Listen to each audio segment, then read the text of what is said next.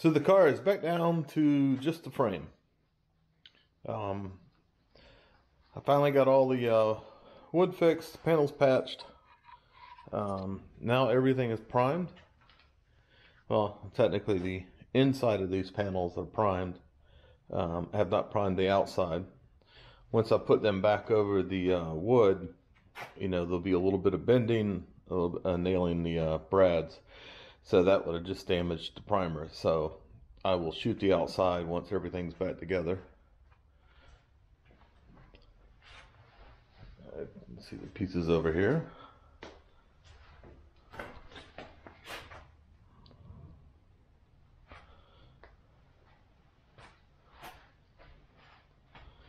All right, so I'm gonna put these back on the frame.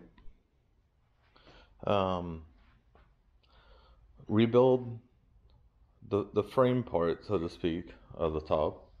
Put the panels on it, get them in place.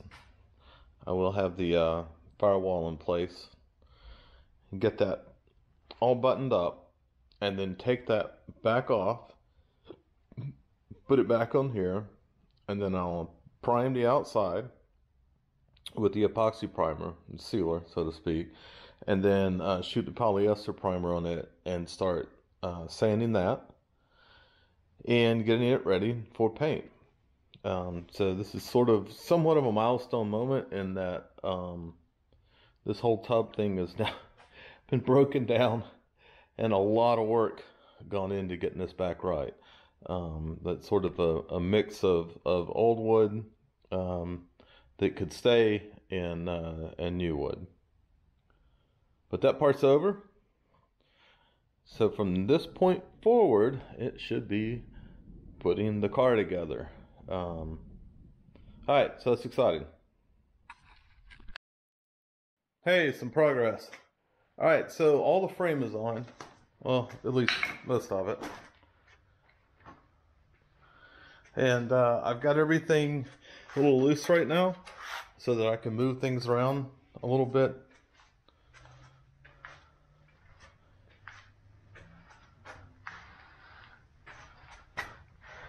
One of the things I've got to go uh, do some research on is if there's like some kind of rubber spacer between here, uh, between this and the actual frame itself, the chassis, as you will. Um, I started to fit the top um, and the side piece. And the main reason I'm doing that is because I found that the top of this part inside on the frame is uh, not the same height as the other one. And I don't remember if there was a mismatch when I took it apart. I guess I'll have to go back and look at some videos. Get that to brighten up a little bit. Um, yeah, it's not doing a very good job. Anyway, um, I'm trying to get the, uh, the, the sheet metal still has the holes from where the um, windshield mount goes in. So what I'm trying to do is get that uh, front panel to match with the, as they call this, the scuttle. And get these to match back into the original holes. And so had this one hole here where these two were pinned together and that's dead on. And then we've got this one here and it's a little bit high. And then these two here, you can see both of those and that's uh, maybe a quarter of an inch, but that certainly is there too. So this can be pushed down a little bit, but not a lot. So I'm starting to think that maybe this top piece, which I did cut, I, I, I'm sorry, did replace this piece right here and this piece right here, that maybe these got done a little bit um, too high, and that would sort of um, account for the mismatch that I'm seeing from here. And what I've already done and then taken off is I took the uh, firewall out of the back, put it on, and that's when I noticed that this piece here was running a little high. You can see on the opposite side here, there's a spacer. Um, and so the way this goes is you, this panel goes over and is, is knocked in with little brads all the way down. And then that spacer piece goes over this, screws into that, and that just spaces the firewall here away from the uh, the rest of the tub. So obviously these holes are going to match the ones over there, and they do. It's just that when we get up to this height, it's a little bit different. Um, so I'm going to go ahead and put the um, the other uh, front almost like quarter panel on um, and see how that matches. Uh, it appears to be exactly correct, um, but it could also be low, and this one could be a little high. So they they both might be off. Um, but go ahead and get that um, panel fitted on and see how it matches. Um, and then if all I have to do is take a little bit off the top here, lower this a little bit to get that in right, well then that's fantastic.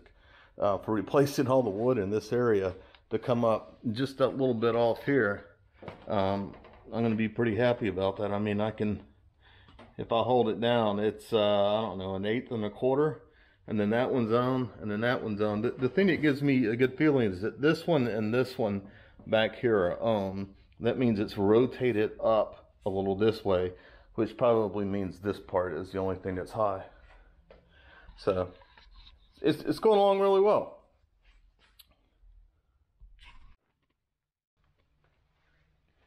So I got the uh, other side on, and yeah, that's as I kind of thought exactly the case. This one's spot on, but if I push on it, you see it's a little low. So it's exactly correct. This one I had an original piece in here. So there's just a little bit of a gap here at the top.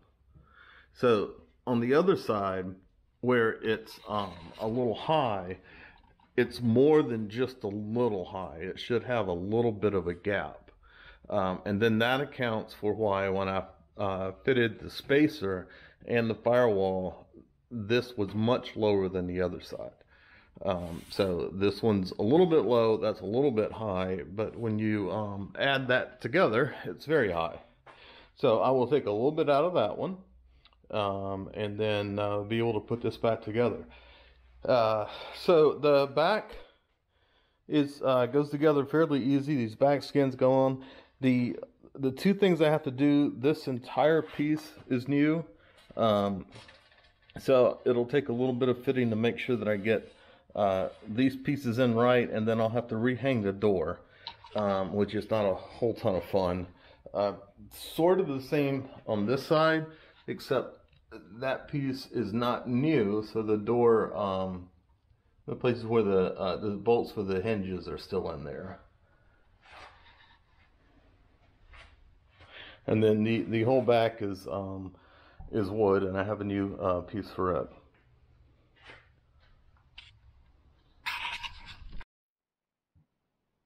All right, we got some progress. The uh, obviously I've got the frame uh, primed, and uh, we've got it on the uh, on the car. It, it's uh, sort of loosely in place. Got a good bit of play here, so I can move this around some. Um, there's a couple things that uh, sort of decide where this is positioned. Um, the steel part here comes in on the back uh, this part, if you follow it, comes up here, down, over, and then you see wood on this side, but it's just bolted onto the steel that goes on the inside. So it comes all the way up right here, around, and then into the front here. And then from here, you have this piece, the uh, firewall goes around that piece. Then there's a spacer. Uh, I'm sorry, the the the panel goes around this piece. There's a spacer piece. The firewall goes over the spacer piece, and then it mounts right in here. So part of the the tweaking of this is to get you know those. So this is this is not going to move, and the hole in the back corner is not going to move. Um, so I got to sort of position this to get it right. Um, so we're going to, uh, and, and of course the panels have to go. on. So go ahead and start putting uh, the front panels on. That will then, uh, and we'll put the scuttle on. and that will allow me to get this. This is loose as well. Get that in the exact position. This one's new. So, um, uh, this front's new. That front's new. Um, so that will let me get all this to work together. Uh, this might need a little trimming. I think this one might be a little bit long, and we'll find that out once we get the, uh, panels on. Put the two front panels on, and then fit the scuttle, um, and find out exactly how this sits, get it set, and get it locked in place. And then we'll go ahead and put the spacers on, uh, get the firewall on, get it mounted to here, since this is fixed, and then work our way back into that corner. And, hopefully it, it matches right up. If not, we might need a spacer in there somewhere. And closer and closer, looking like a car again.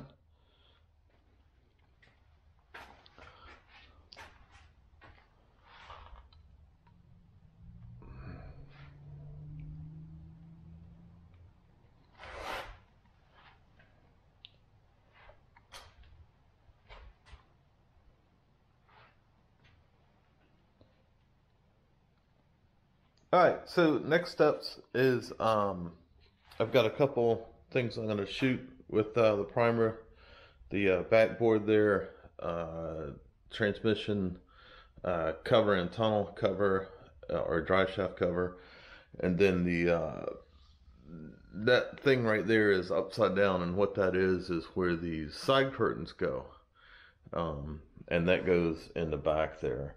And then I've got a few more pieces of this marine grade plywood that I'm going to shoot as well. And they go, um, they call them access panels, but they go across here in the back. Uh, with the basic idea of, just going ahead and getting everything um, in this back area, with the exception of the front floorboards, um, in this and buttoned up. Once I've verified all that fits together, then uh, you can see that none of these are I haven't actually nailed any of that in. And it's a good thing because I forgot to put a couple things in. Uh, one more change I'm going to make. Um, if you look at these right here, so you've got this piece that's uh, firmly tied in here to the, and then see the angle bar goes down, angle bar goes over here, angle bar on the bottom, big one. You've got this whole thing here that holds this wood piece up. But if you look at it, it all comes down to this spot right here. Um, so that's not good. I'm going to do a little bit more research and see if this area is used for anything. If it's not, and I'm not sure what this is either, um, this is probably imported, so I might not be able to do this, but I might at least be able to get a piece that goes from here all the way up in here. So a nice solid piece, and drill holes here, screw that in, um, and I put like pocket holes in here and then go into this piece here. And that would really give a lot of rigidity because, I mean, this area is firm, but it's all down to that one spot. Um, so I, I, don't like that. I, would like to firm that up. This is the whole side here. Um, I mean, somebody many years ago designed it and thought it was fine, but I would like to add that if I can. Um, all right, so I got, uh, like I said, one more thing to shoot. Um, get that done, and then start putting the back in, hang the doors, and get the doors to close. Um, I've already test fit the scuttle top, uh, or not the scuttle. It's great.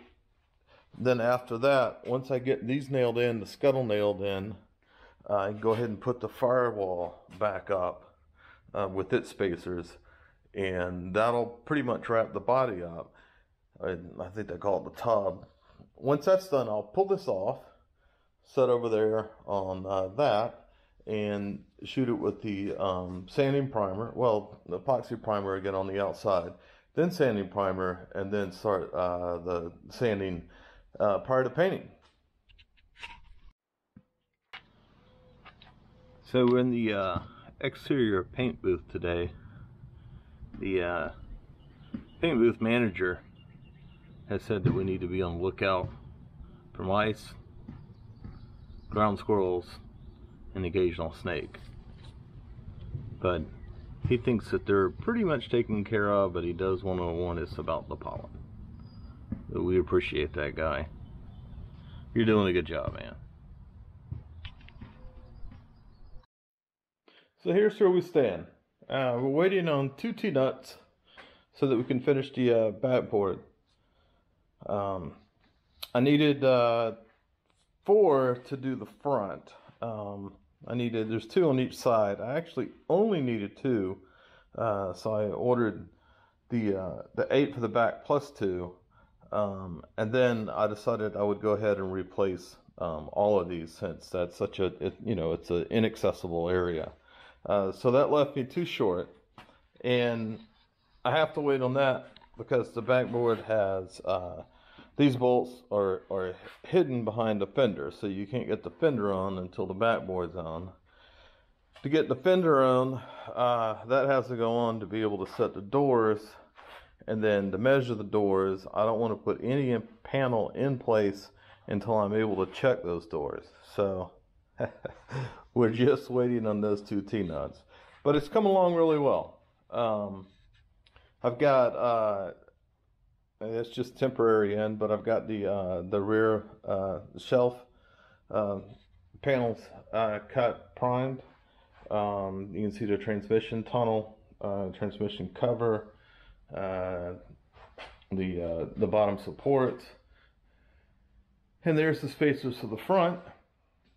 And the firewall is, is right over here. All the fenders are ready to go in, so we should be able to get those two um, T-nuts tomorrow, hopefully, get those in, get the backboard in place, get the fenders on, hang the door, um, and, and hopefully it'll be right. Um, I, I, you know, I, have heard horror stories on these doors um, without redoing the wood. So I've redone the wood, um, and now I'm going to hope to try to get these doors to fit. Um, so that's going to be a bit of a challenge, but hopefully it goes well.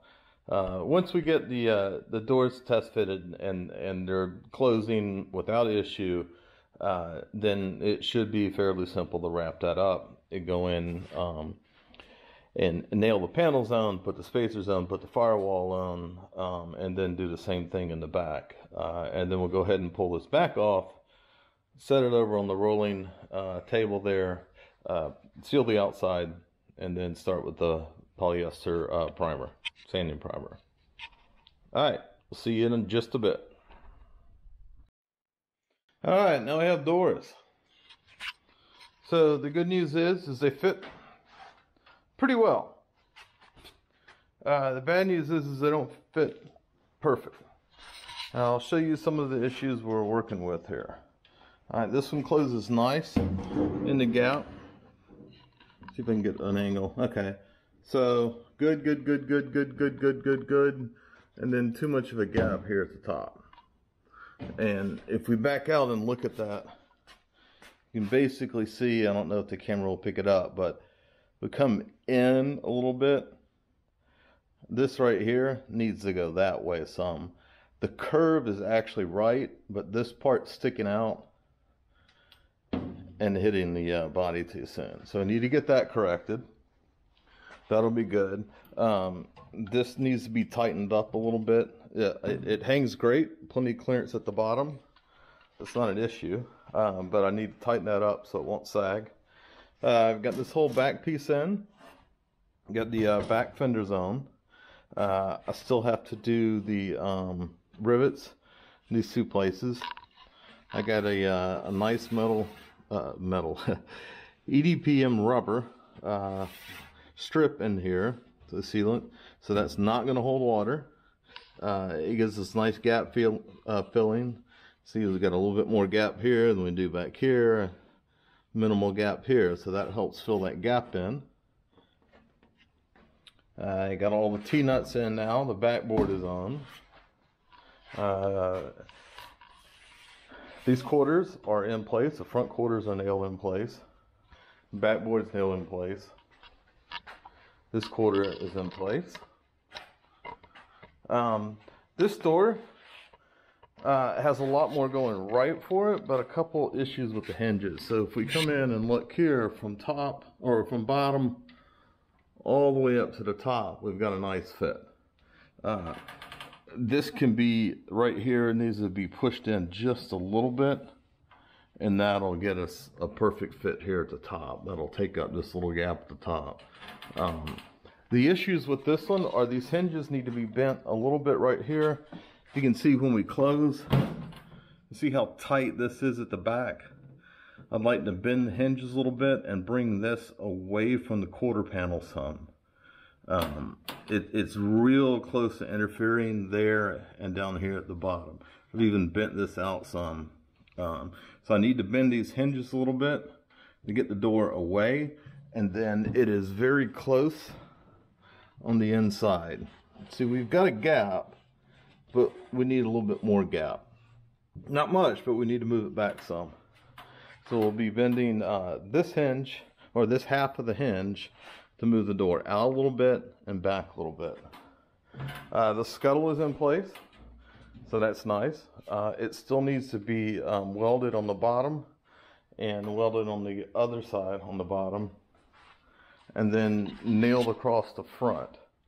Um, I haven't done that yet because I want to go ahead and put the windshield mounts on and test fit the windshield to make sure that we haven't um, lost any width. Uh, that if, if you look here when I push down, see there's a little bit extra.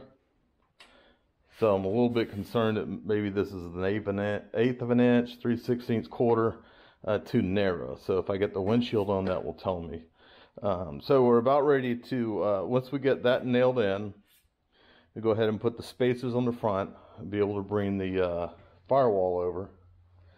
Um, we get the uh, the final tweaking on the doors and take these out. I'm going to finish all the edges now that we have it where we want it. And by finish, I just mean a little bit of metal working here and there. Um, and then this will be ready to shoot with primer. We need the uh, door support in there as well. And then that'll get us to the point where we can pull this um, off the chassis.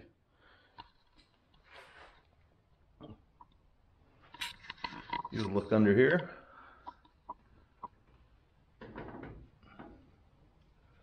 It's come along really good.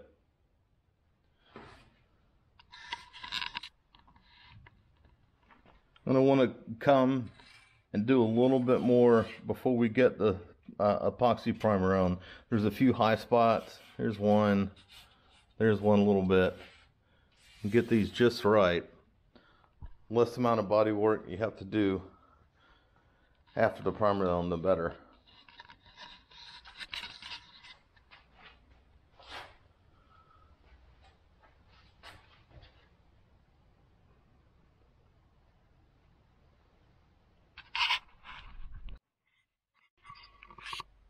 All right, well, the tub is back on the car.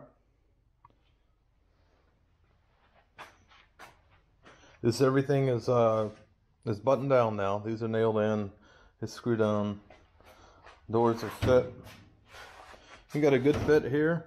Um, obviously, the, I've melted the uh, the lead that was in here off. Trim this a little bit, so we'll need to add a little bit more to fill that in. Got a good fit back here. Hinges. All this is all the way in, all the way around. Good fit. I need to put this board on back here. Come around and get a good fit on this side good fit on this side. A lot less uh, lead came off when I did this one. I sort of understood how to get that out. Um, these are uh, welded in in two places and then soldered back up at the bottom. Same on the other side. Got these back in place.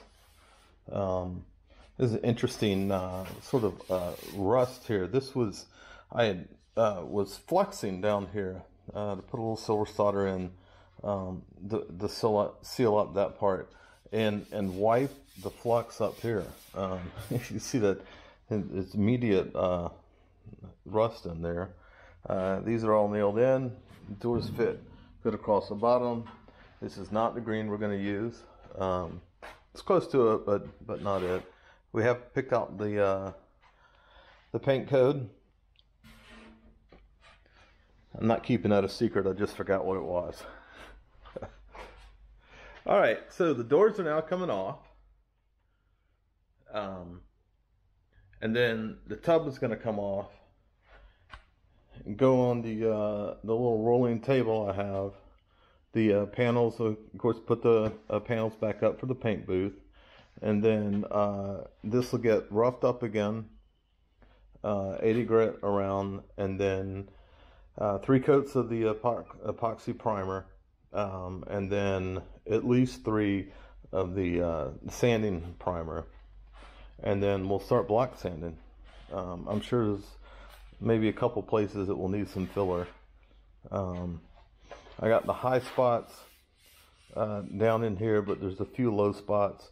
I left that as it was because they were um, less than an eighth of an inch. So that's good. A couple little spots right in here. Uh, but the rest of it is pretty good. All right, so that's next. Uh, in, in this, I, I reshot this. Oh, and uh, if you remember, I had like the equivalent of a beaver, a metal beaver. You'd come in and, and drilled, uh, it was 40 holes all the way up here, around here, um, into this panel, and, and down there. Um, so I welded all those up. Um, it turned out really good. I'm very happy with that. I was a little bit worried about doing that and get the warping in it, but it turned out to be not a problem at all. So I got all this done. This has been uh, re-epoxied, um, so it's ready. All right, so uh, I think that's going to wrap up this segment, and uh, next segment we'll start uh, with this guy being on the uh, the rolling platform. Uh, the chassis is actually going to live outside while we do the um, not really body work, but the uh, block sanding on this and get it ready. And we're going to go ahead and shoot the color on it. So that's pretty exciting. All right. Thanks for watching. We'll see you in the next segment.